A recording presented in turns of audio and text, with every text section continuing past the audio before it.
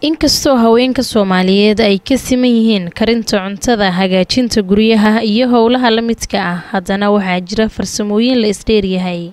Haweenkan oo tiradoodu gaarayso ku dhowaad konton subax kasta waxa ay u kalahaan xarunta si ay u qaataan casharo la xiriira dhammaan howlaha dumarka sida cunto karinta cilaansaarka meek abka barashada dawaarka ama harqaanka sharaxidda guryaha iyo karinta ama nashqadaynta dharka shalay waxaan tolnay waxaan tolaynaa maanta maradan iska fiirsha. Waa say tolanta waa in qof walba u tolo. Qaabkeeda iyo habkeeda waa u jeedaa marka waa in sidaan loo tolo maradan ayadaa tolaynaa birina haddii lahay idmo nuuc kalean tolayn haddii lahay midka adugu nagu soo socdo haddii lahay biri. Marka maanta maradaanaan tolnaa saasaad u tolaydiin qaabkay u tolanta waa ujeedaan waa saakadaas hibo cookin school waa iskuul ku yaalla magaalada cadaado oo haweenku ay ku bartaan xirfadaha aan horay u soo sheegnay.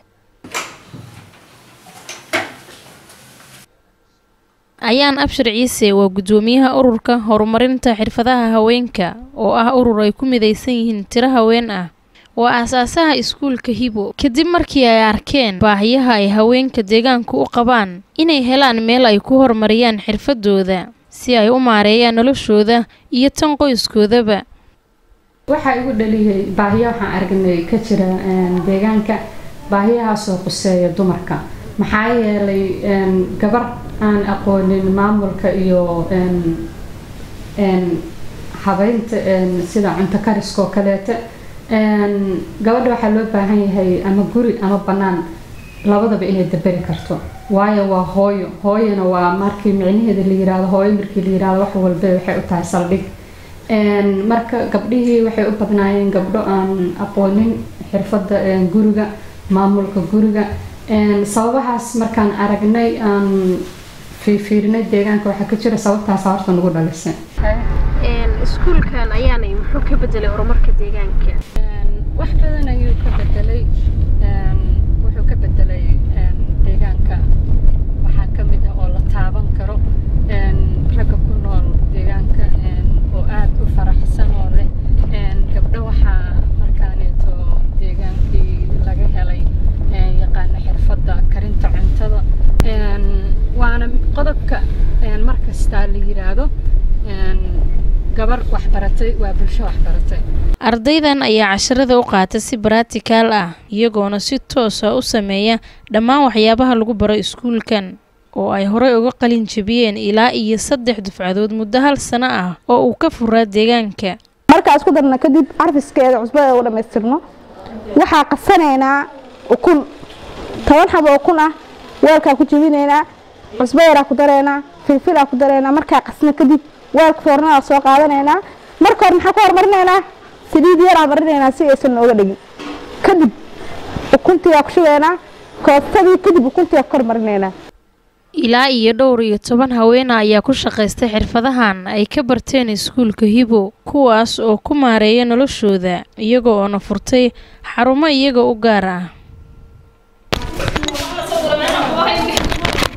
qaar ka mid a ardayda oo aynu weydiinay hamigooda barashada hawshan ayaa sheegay in ay doonayaan in ay samaystaan xirfado ay noloshooda ku maareeyaan. Waxaan waxaan u samayn karaa cuntooyin badan adig rootiga nuuca u samayn karaa baastada nuuca u samayn karaa burka waxaan u samayn karaa adi lix nuuc toddoba nuuc. Aan u isticmaali karaa oo waxba ay cunto midba nuuc u dhadhamayso. Intaasoo dhanna waa isticmaalaa hadda waa cunaa noloshayda waan waan ku isticmaalaa inaan u cuno. Waxaan u baranayay oo hadafkaygu uu ahay labadaba inaan ku hormariyo because aniga waxaan ugu talagalay inaan dantayda ku gaaro soo uguma aanan talagelin kow markaan soo gelaya intii aan rabo dhan inaan ku dhammeeyo ganacsi inaan ka dhigto inaan dadkii u samaysto intaasoo dhan waan ugu talagalay. Insha allah hadeerna diyaara u ahay inaan barto dhammaystirto. Darawalnimada harqaannimadana waa aan galay harqaankana waan ku jiraa cunto kariskana waan ku jiraa. Intaba waa diyaaran ka ahayo hadda waan bartaa labadaba waxbaa iiga bilaaban waan ku socdaa.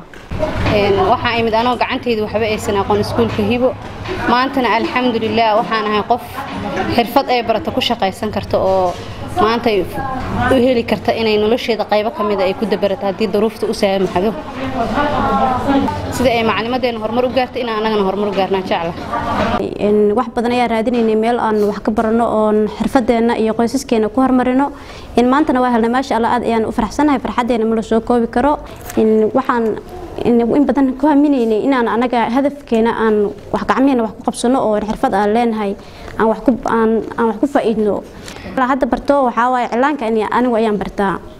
In ardada kaleeto waxaa waxyaalo badan ayaa la bartaa cunto kariska in dharka karintiisa harqaanka in waxyaalo badan ayaa laga bartaa meesha. Waxaan u baranayaa inaan qoyskeyga in caruurteyda in qoyskeyga dhammaantood inaan ku hormariyo oon ganacsi aan macnaha ku ganacsado oon wax ku barto in dadkana bulshadana aan wax u faa'iideeyo. Ururku wuxuu garab siiyaa dumar deegaan ku nool. Waxaana bixinaa waxbarasho. Waxbarashadaasoo ku saabsan horumarinta hablaha. Waxaana ka caawinaa xirfadda gacanta sida farshaxanka qurxinta xidhnaha cunto kariska waana aas-aasiga waxa u ee dumarka. Fadxi shariif maxamuud telefishinka s b c cadaado